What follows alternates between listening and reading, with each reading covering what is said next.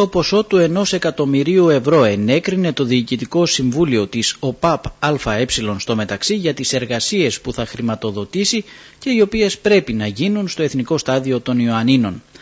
Η σχετική απόφαση γνωστοποιήθηκε στην Ομαρχιακή Αυτοδιοίκηση που με τη σειρά της παρέχει μία σειρά από διευκρινήσεις αναφορικά με τα έργα ανακατασκευής του Εθνικού Σταδίου Ιωαννίνων.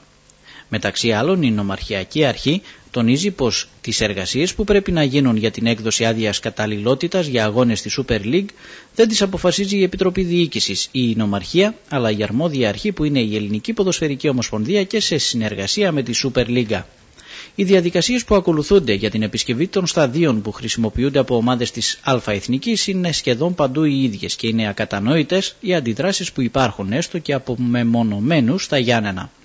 Η δημοπράτηση των έργων τονίζεται στην ανακοίνωση με περιορισμένο αριθμό εργοληπτών είναι απόλυτα σύνομη και στην περίπτωση που το ποσό της σύμβασης ξεπερνά το 1 εκατομμύριο ευρώ ελέγχεται και από το ελεγκτικό συνέδριο. Σε μια τέτοια περίπτωση είναι ευνόητο ότι απαιτείται πρόσθετος χρόνος για την ολοκλήρωση των διαδικασιών.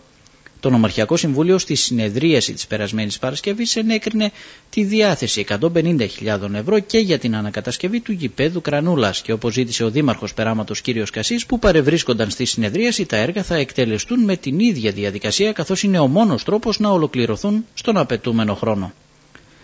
Όσοι πραγματικά ενδιαφέρονται, καταλήγει η ανακοίνωση της Νομαρχιακής Αρχής για την ανακατασκευή του Εθνικού Σταδίου και την εξασφάλιση άδειας λειτουργίας για τις ανάγκες της Super League, θα πρέπει να βοηθήσουν επικοδομητικά, αφήνοντας κατά μέρος τις ανέτειες, αστήρικτες, ακόμη και υποβολημαίε καταγγελίες, προτείνοντας μάλιστα χρονοβόρες λύσεις που είναι μαθηματικά βέβαιο ότι απομακρύνουν τη δυνατότητα να χρησιμοποιήσει τη φυσική της έδρα με την έναρξη του νέου πρωταθλήματος, είπα Έπας Γιάννενα.